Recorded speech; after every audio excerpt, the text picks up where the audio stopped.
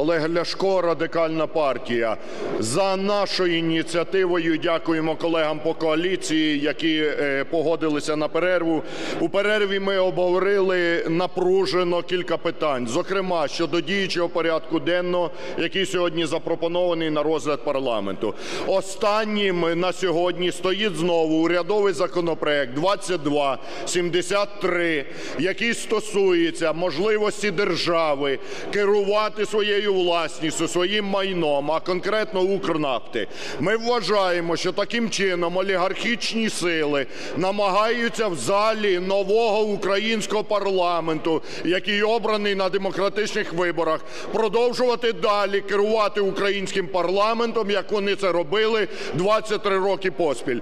Фракція Радикальної партії, яка взяла перерву, ми наполягаємо, і ми маємо підтримку всіх фракцій коаліції, негайно зараз у цьому залі проголосувати закон 2273, повернути право держави впливати на свою власність, керувати своєю власністю. Ми вважаємо, що олігархи не мають права паразитувати на державних ресурсах, надрах, на державній власності. Тому ми наполягаємо на прийнятті закону 2273, який, до речі, дає можливість повернути до державної власності не лише Укрнафту, а й багато чого розкрадено. Зокрема, нещодавно один із олігархів Ігор Коломойський виступив із сенсаційними заявами про те, що він давав 5 мільйонів доларів щомісяця хабарів Кучмі і Пінчуку для того, щоб йому дали можливість